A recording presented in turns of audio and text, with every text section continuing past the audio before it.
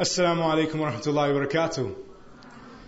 It's very nice to see you all here. I would like to call upon our guest, our guest who comes all the way from Australia to join us. And uh, inshallah, he will join us in a few moments up on the stage. Name is Sheikh Tawfiq Chowdhury. And uh, he is CEO and founder of Mercy Mission World and also the chairman of Al Kawthar Institute. And inshallah, he comes here today and uh, he will speak about a very, very important, important topic, a journey that we will all be taking, and it's a must for us to take. And uh, it's a very, very powerful, very emotional topic. And inshallah, without further ado, I would like to call upon Sheikh Tawfiq Chowdhury. Assalamu alaikum. بسم الله الرحمن الرحيم الحمد لله رب العالمين وصلى الله وسلم بَارَكَ على نبينا محمد وعلى آله وصحبه أجمعين Assalamu alaikum wa rahmatullahi wa barakatuh. My brothers and my sisters in Islam, I am a medical doctor. I work in the emergency department and I'll tell you what, I deal with death every single day. I deal with the fact that people are dying. I try and I battle with the best of the skills that Allah subhanahu wa ta'ala has taught me against the qadr of Allah subhanahu wa ta'ala to try and save a human being.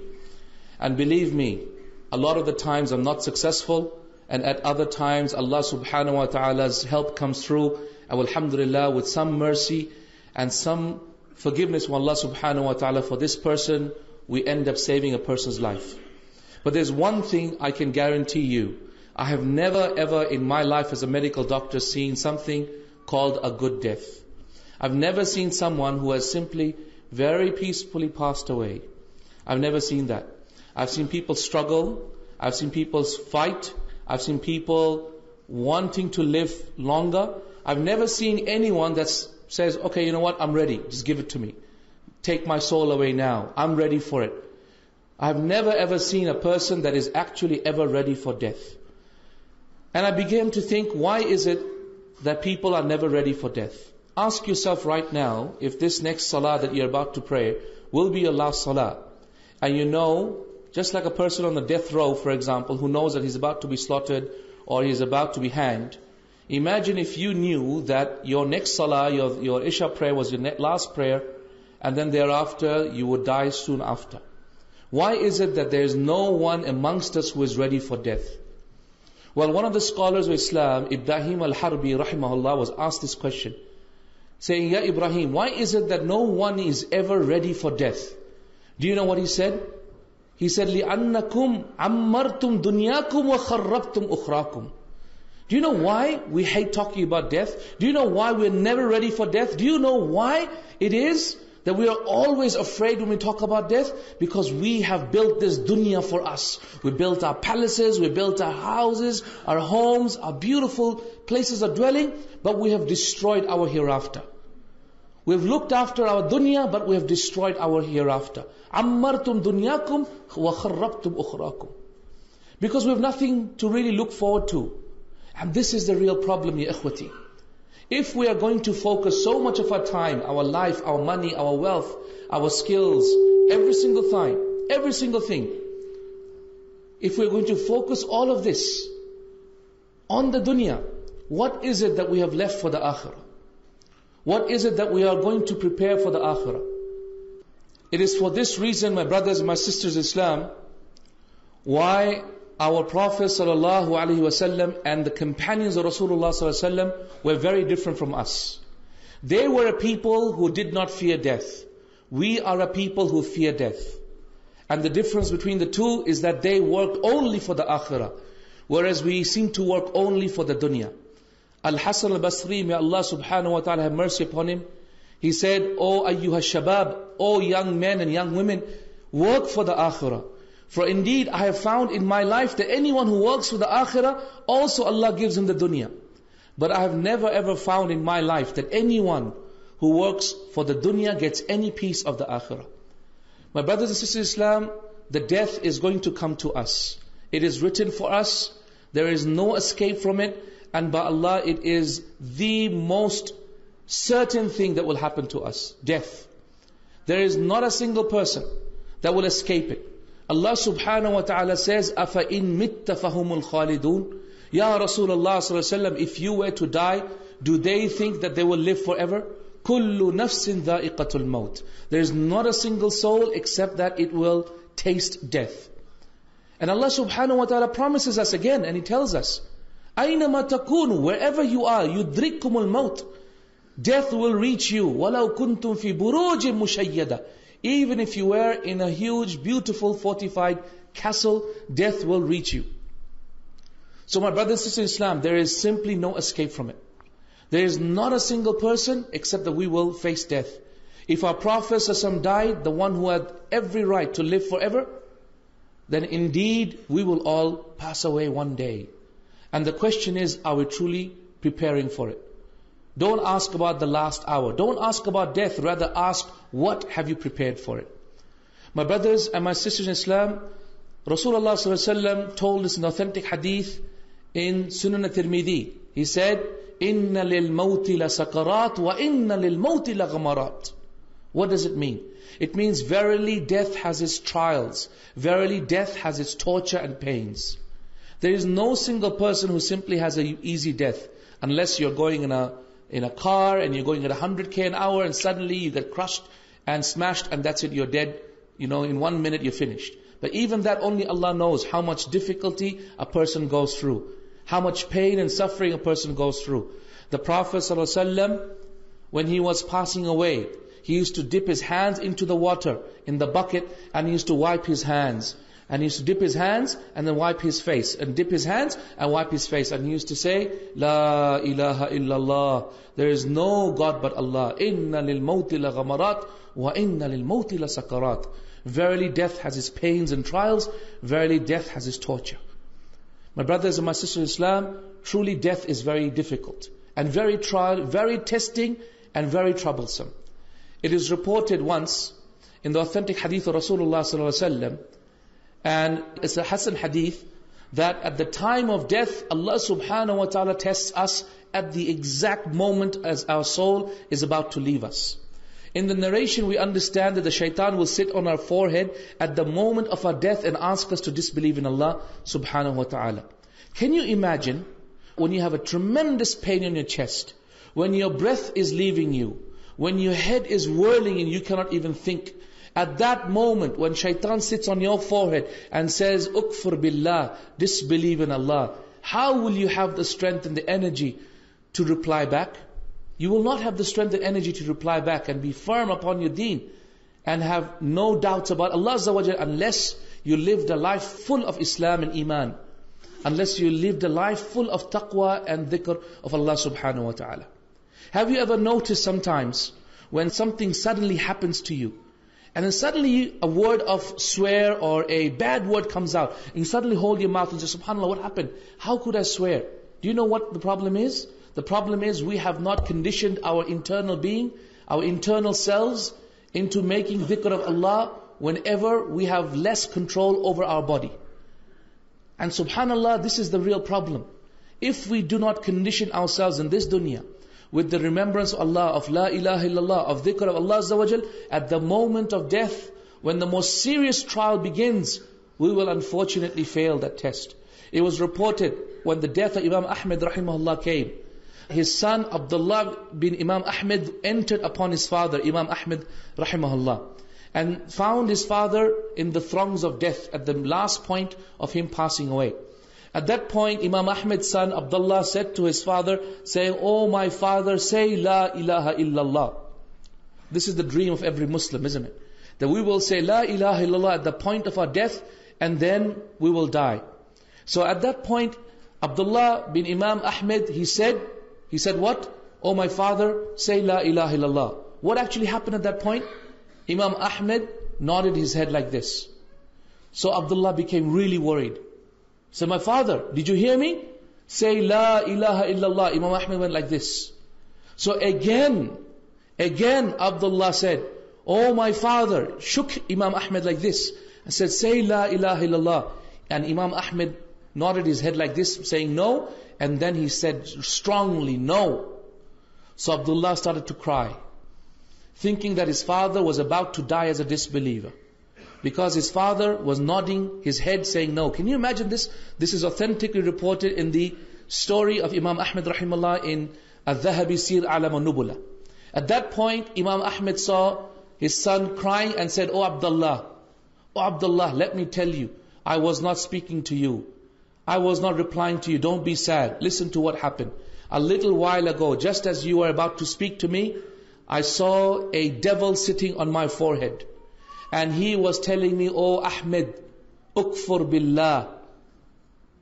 Disbelieve in Allah. And I said no to him. Then he told me again, disbelieve in Allah. And I said no to him. And then he said again, say I am your Lord. I am your Lord. Meaning the shaitan is saying, I am your Lord. And at that point I said, no. And you thought I was replying to you. Ya ikhwati, there are numerous reports from the Salihin that the shaitan will test us at the moment of our death. And so Allah subhanahu wa ta'ala promises us, فَلَوْلَا إِذَا بَلَغَتِ الْحُلْقُومِ وَأَنْتُمْ حِينَئِذٍ تَنْظُرُونَ وَنَحْنُ أَقْرَبُ إِلَيْهِ مِنْكُمْ وَلَكِنْ لَا تُبْصِرُونَ فلولا إن كنتم غير مدينين ترجعونها إن كنتم صادقين Ya ikhwati, this is the verse that comes to me every single time I get the code blue in the hospital. فلولا إذا بلغت الحلقوم when the soul has reached the throat وأنتم حينئذ تنظرون and you are looking and you are seeing the person dying right وأنتم حينئذ تنظرون ونحن أقرب إليه منكم ولكن لا تبصرون and my angels have come, and the angels are already close to the soul, about to grab the soul, whilst you cannot even see them. فَلَوْلَا إِن كُنْتُمْ غَيْرَ مَدِينِينَ And if you are not therefore obliged to follow this religion, and follow what Allah subhanahu wa ta'ala has asked you to do, and what the Prophet told you to do. تَرْجِعُونَهَا Return it back into the body. The promise of Allah, the challenge of Allah, that if indeed we will live forever, if indeed we can continue on the way that we are, then return back the soul into the body if indeed you're truthful.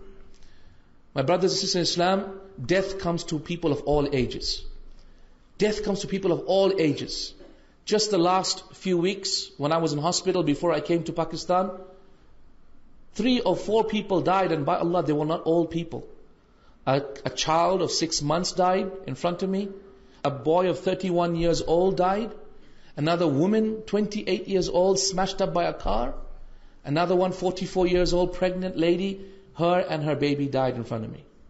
Yakhwati, death comes to everyone. At any time, at any situation. Do not ever think by Allah it will not come to you. It will come to you. So Allah subhanahu wa ta'ala promises us that we will die. And the Prophet ﷺ told us about the grave. He said, one day he came out and he went past a grave and he saw the adab of the qabr and he started to cry and cry and he came out to the Sahaba whilst his eyes were red. And the Prophet ﷺ said, Ya ayyuha shabab, O people, O young men, women, O Sahaba, limithli dhalika fasta'iddu. For the example of this, prepare yourselves. For the example of the grave, prepare yourselves. He said in authentic hadith, Wallahi, if you could hear what I hear, you would not find pleasure in sleeping with your wives. Wallahi, if you knew what I knew, you would never bury your dead. Another authentic hadith. Ya salam. The punishment of the grave is a terrible punishment. It is authentically reported from the sunnah of the Prophet ﷺ that people will be punished in their graves. Authentic hadith of Rasulullah ﷺ about a person who learns the Quran and then forgets the Quran is that that person will be put down on the ground and a big boulder will be used to smash his head. Authentically reported, a person who takes riba and eats riba and gives riba will be swimming in a pool of blood. And every single time he tries to get out of that pool of blood, an angel will be taking a stone and throwing it at him until the stone will hit him in the face and he will go and drown into the pool of blood. And that will continue till the day of judgment authentically reported that the person who spreads namima, especially our brothers and sisters who love to sit together and talk about others, that they will be made to lay down on the ground and an angel will be used to tear open the sides of his mouth from one side to the other side and this will continue till the day of judgment. Authentically reported also that the people who used to commit zina in this dunya will be burnt in their graves as if it's a furnace The people will be naked and they will be burnt in their furnace, in their graves, as if it was a oven. And this is the punishment of the people who committed zina in this dunya. And there's no one amongst us, as the Prophet said, there's no one amongst my ummah except that a nisbah of zina has been written for him or her. No one amongst us here except that we will commit an amount of zina with our hands or our eyes or our tongues or our legs or with our hearts or with our private parts. Ya salam. May Allah subhanahu wa ta'ala preserve us from that. May Allah subhanahu wa ta'ala preserve us and save us from this. Ya ikhwati, as Rasulullah sallallahu alaihi wasallam said, he said the qabr is the awwalu manabil akhirah. Qabr is the entry point into the akhirah. Imagine the first day you are going to get married. How amazing is that day? Beautiful bed, full of rose petals, such excitement on that day. Compare the night of your marriage to the night that you will enter the grave. The first night of entry into the grave is a terrible day. It's a day that you are not expecting. It's a day that you are hoping for the best, but perhaps the worst might overtake you. The first night in the grave is not a bed of petals, it is a cold earth. It is a wet, cold earth, completely dark, completely black. And as you die, and as your soul is lifted up, towards Allah subhanahu wa ta'ala, wrapped up in a garment of good or wrapped up in a bad smelling garment and you go up to the heavens, at that point your hukum will be passed upon you. Whether you are going to go to Jannah or you're going to go to Jahannam.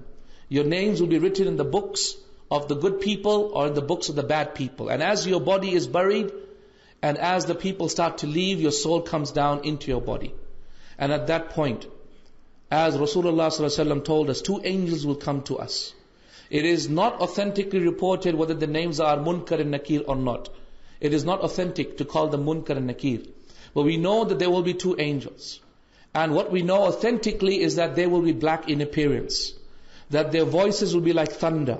Their eyes will be red, and when they blink, it is like lightning that will strike inside your graves and the fitna of the questioning of the angels will be extremely severe.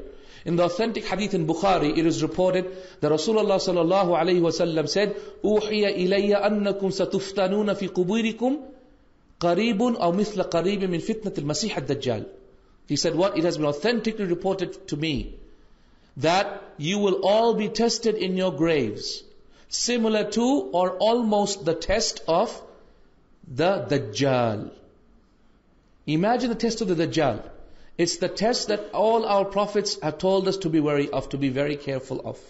To be wary of the Dajjal because it is a severe test. The Dajjal will come to us and the test of the Dajjal is so great that there is not a single prophet except that that prophet has warned us against the Dajjal. Imagine that no one amongst us, whether we meet the Dajjal whilst we're alive or not, except that the fitna, the similar fitna of the test of the Dajjal will be met to us on the day that we die. Yeah, khwati, it's a very difficult situation. The grave is not something that we're all looking forward to. Uthman radiallahu anhu used to say, I don't worry about the akhirah, about Jahannam. My biggest worry is the grave. Because that is the point at which I will know whether I'm going to Jahannam or not. And that is the first point of my entry into the akhirah. You see, we don't have to wait for the day of judgment we know that our day of judgment will begin the day that we die. And by Allah, that point could be as soon as the very next hour after now. My brothers and my sisters in Islam, Allah have mercy on me and you, and may Allah subhanahu wa ta'ala protect us from all that is to come. I'm giving you a grim picture because by Allah, that is precisely the test that we are all about to face.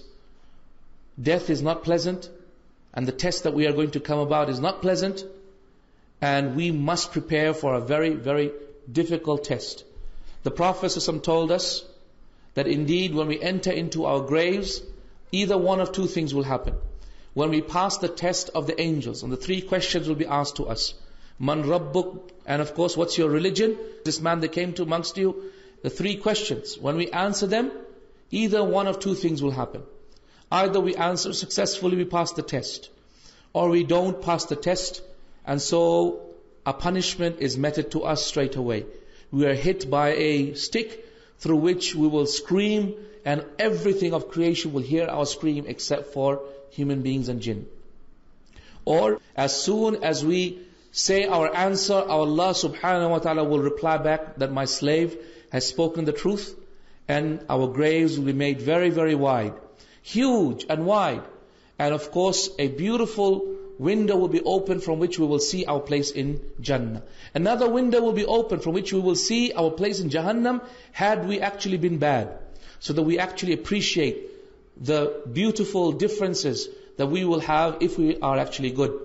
Then we will have a beautiful person sitting with us. And that is our good deeds. And then a knight will come to us, and that is our prayer. And then another knight will come to us, and that is the Quran. And another knight will come to us, that is our fasting. Our good deeds will come to us in the form of knights, protecting us in our graves from the punishment of Allah subhanahu wa ta'ala. On the other hand, if we were not good, then Allah, Allah alayk, because the terrible time that we will have in the grave where we have nothing to help us. La mal wa la banoon. No children and no wealth. On top of that, it is authentically reported from many of the Sahaba that they used to say, mawqufan, mawqufan meaning it only ends at the Sahaba, though they would not have said this unless they heard this from Rasulullah it is authentically reported from the Sahaba that whilst we are in our graves, we will be told by the angels about what happens on this earth. Especially what happens to our families on this earth. Okay? So many of the Sahaba told us that we will be told by the angels what happens to our families on this earth.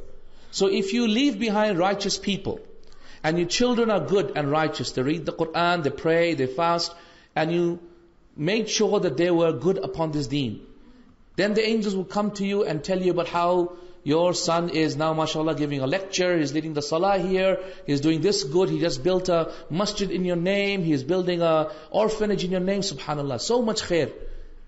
So much good upon good. How beautiful would that be? But imagine if your children were bad. And if you did not teach them about Islam, and you left them upon kufr and shirk, and all you gave them was playstations and an education in a Christian school, and you send them off to America, USA, where they learned nothing but haram and they saw pornography at night and they fell into drinking and they did haram things, imagine what answer they will tell you in your graves. Musibah. And the problem is, you'll be screaming and trying to get out of your grave, but you cannot. Umar radiallahu anhu asked Rasulullah Ya Rasulullah, will we have our intelligence in our grave? You know, intelligence, like we can think now, right? Our ability to think and ponder. Will we have our sense and our intelligence in our grave? Rasulullah said, yes. You will have your intelligence and your understanding and logic in your grave. Can you imagine? Can you imagine being in the grave, being able to think about the time we spent in this dunya and what we did? Ya salam. What an amazing thing that would be. Ya ikhwati, whilst we're in the belly of the grave, many years will pass by. The people who have died in the Battle of Badr, 1400 years, people have died. Subhanallah, how many hundreds of years? You might have your own parents that have passed away, perhaps brothers and sisters. How many years, subhanallah, are they in the belly of the grave? So many things will be happening on the top of the grave whilst the people are unaware. What's happening? The Mahdi would have come. And after the Mahdi, then the Dajjal would have come. After the Dajjal, then Isa would have come. And after Isa alayhi then comes the Ya'juj and Ma'juj. And then Isa alayhi makes dua against the Ya'juj and Ma'juj and they die off. Then Isa alayhi dies. And then thereafter people are upon Tawheed until unfortunately they start to all go down and Islam starts to be lost again from the lives of the people. And then of course the ten great signs happen and that is in the hadith of Hudayfa radiallahu anhu the ten great signs that will take place on the day of judgment. Of them is the Dajjal. Of them is the is Isa salam. Of them is the sun rising from the west. Of them is the fact that there will be three major earthquakes. And these earthquakes are like landslides. And basically the scholars of Islam describe them to be continental landslides, where, where huge continents will be torn apart. One in the east, one in the west, and one in the Middle East. Huge continents will tear apart. And you can imagine the destruction when huge land masses, as big as a continent are torn apart from each other. You can imagine the destruction that will happen. We also know of the black beast that will come out of the Kaaba. It will brand everyone. We also know of the smoke that will come from Yemen. A huge smoke that will come, perhaps a super volcano from Yemen that will come and that will explode and it will completely obliterate all life in this dunya. These are some of the signs that will happen on the day of judgment. The ten major signs, followed by, of course, the 60 minor signs that have yet to happen still. And then these things are happening whilst you are still in the belly of the grave. Imagine the angels coming one by one and telling you what's happening in the belly of the grave. Subhanallah. How amazing would that be? And inshallah ta'ala, you are in blessings and na'im, not in difficulty and punishment. Having the sleep of pers- of someone who has simply just gotten married. And then suddenly you hear something very strange. What do you hear? You hear a terrible sound. What is that sound? It is the blowing of the horn. It is the day of judgment starting to begin. The scholars of the Ummah of Muhammad have differed onto how many times the horn will be blown into. And the stronger opinion, inshallah, is that the horn will be blown into three times. Some said two. The stronger opinion is that it will be blown into three times. What is the horn? The horn is a qarn, is like the horns of a ram that has been hollowed out and it, this is a horn that is carried by an angel by the name of Israfil. Israfil is an amazing angel. Rasulullah sallallahu alaihi wasallam once got up in the middle of the night suddenly, like someone has a bad dream and you wake up suddenly, almost gasping for air. In this manner, the Prophet got up. When he got up in this manner, he woke up Aisha radiallahu anha as well. So Aisha radiallahu anha saw Rasulullah getting up in this very excited, very uh, dazed manner. And when he saw Rasulullah in this manner, asked, Ya Rasulullah, what's wrong? What's wrong? Rest and be peaceful, Ya Rasulullah. What's happened? Rasulullah replied to her and said, Kayfa an'am? How can I rest? How can I rest when the Sahib al-Sur, when the Sahib al-Sur, meaning the owner of the horn, which is the Israfil, the angel, has put the horn to his mouth and he has taken a deep breath and he has puffed out his cheeks and he is looking at the throne about to blow into the horn. So Israfil has already gotten ready. He has taken a deep breath. He's puffed out his cheeks. He's put the horn to his mouth and he's just waiting for the order to be given for the day of judgment to begin. Ya salam. Kayfa an'am. How can I rest? My brothers and sisters in Islam, the Prophet told us that right after the death of Rasulullah the day of judgment would come like this. Bu'ithu ana wa sa'ati hakada, he said in authentic hadith in Bukhari. He said, I and the last hour has been sent like this. Meaning right after Rasulullah will come the last hour. So we know that the Prophet passed away. All that is left is for the last hour to come. From the authentic descriptions of Israfil, is that Rasulullah told us that Israfil is an angel that doesn't blink. The only angel, the only creation that has eyes but does not blink is Israfil. And the reason why he does not blink, as in the hadith of Rasulullah Muslim Imam Ahmed, is that he is afraid that if he blinks, the order would come at that point and he would delay the blowing of the horn. This is Israfil, ya salam. The Sahib al-Sur, the owner of the horn, the one who is about to blow and signal the day of judgment. So my brothers and sisters in Islam, when the order comes, the first blowing will happen. وَنُفِخَ فِي الصُّورِ فَصَعِقَ مَنْ فِي السَّمَاوَاتِ وَالْأَرْضِ إِلَّا مَنْ شَاءَ اللَّهِ So the first blowing will happen. What happens with that? The faza. The first is called nafkhatul faza. What does that mean? The first blowing is, remember what happens when, if you were to hear a very bad sound, suddenly you'd go like this. Have you ever noticed cattle, for example? They hear a very amazing doom sound, and they suddenly, you know, their ears perk up and they let's listen. That's called the nafkhat al-faza. First blowing is called nafkhat al-faza. What does that mean? The blowing of terror. So the first blowing will terrorize all of creation. The first blowing will be so severe that the sound will terrorize all of creation. Every single being will be extremely terrorized by the first blowing. And it will stun you. It's like a stunning sound. It stuns you completely and you're completely stunned. The second blowing will happen And only Allah knows how long between the first and the second blowing. And the second blowing will happen which will cause destruction of this dunya. And the dunya and its destruction is amazingly described in the Quran. You only have to look at the surahs in Juz Amma that describe how Allah subhanahu wa ta'ala will cause the day of judgment to happen and the destruction of the dunya to happen. Right? وَإِذَا دُكَّتِ الْأَرْضُ دَكًّا دَكًّا And when the earth is smashed with a complete smashing. Right? يَسْأَلُونَكَ عَنِ الْجِبَالِ They ask you about the jibal. قُلْ يَنصِفُهَا رَبِّي نَصْفًا Allah will tear it apart into half.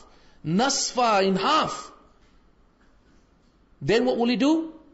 ثُمَّ يَجْعَلُهَا قَاعًا صَفْصَفًا And then he will make it soft, mushy. And then, in one verse he says, he will hit the mountains with each other. The mountains will become mushy and hit into each other. Because of that, they will scatter into dust and they will be lost. So four things will happen to the mountains. First, it becomes uprooted. Second, it becomes torn in half. Third, it becomes smashed with each other. And fourth, it becomes soft and mushy until a wind will blow and they will become nothing but scattered dust. What about the oceans? What will happen to them? وَإِذَا الْبِحَارُ فُجِّرَتْ وَإِذَا الْبِحَارُ فُجِّرَتْ What does that mean? Imagine, ya you're going to the sea and the beach. Next time you go to the beach, just remember this. Imagine you're standing in front of the beach and the beautiful water in front of you, huge amount of water. Imagine that Allah is saying here, وَإِذَا الْبِحَارُ فُجِّرَتْ When the oceans are turned into fire. Ya salam. All of the ocean will be an ocean of fire. وَإِذَا الْبِحَارُ فُجِّرَتْ It's in the Quran. When the oceans are turned into fire. Subhanallah. Amazing description of the day of judgment. Amazing description of the day of judgment. وَإِذَا الْوُحُوشُ حُشِرَتْ And when the beasts are hoarded together. What does that mean? It means the beasts under the ground and the beasts above the ground are all hoarded together. Meaning as soon as the nafkhatul faza' happens, have you seen any picture or any movie out there wherein, for example, there's a huge fire burning in the forest and all these animals running out? Have you seen that? and they're running out like crazy. There's every type of animal coming. There's a lion that comes out, a cheetah that comes out, a deer that runs out, there's a squirrel that comes out, big and large animals and small and birds, every type of animal comes out. And that is what Allah is saying. وَإِذَا الْحُوشُ حُشِرَتْ Meaning, on that day, because of the nafkhat al-faza, what will happen is people will run towards each other and the animals and beasts will hoard towards each other. Complete chaos. Complete chaos will engulf this dunya.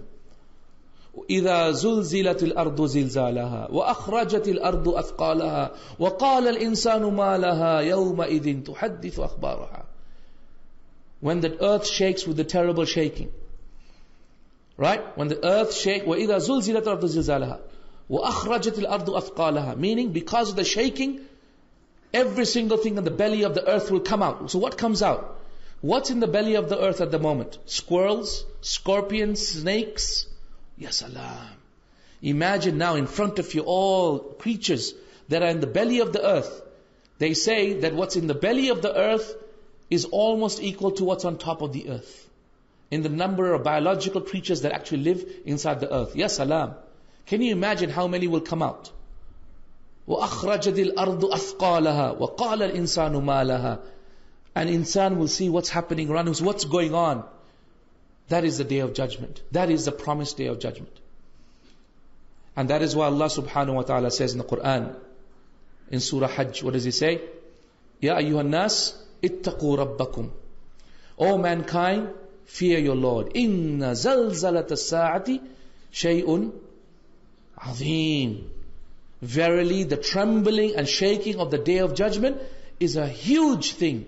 يَوْمَ تَرَوْنَهَا the day when you see it, تَذْهَلُ كُلُّ مُرْضِعَةٍ أَمَّا أَرْضَعَتْ Every breastfeeding woman will throw her breastfeeding child and run away. وَتَضَعُ كُلُّ ذَاتِ حَمْلٍ حَمْلَهَا And in the fear, every woman that is pregnant will start having a labor. And because of that, she will drop her load.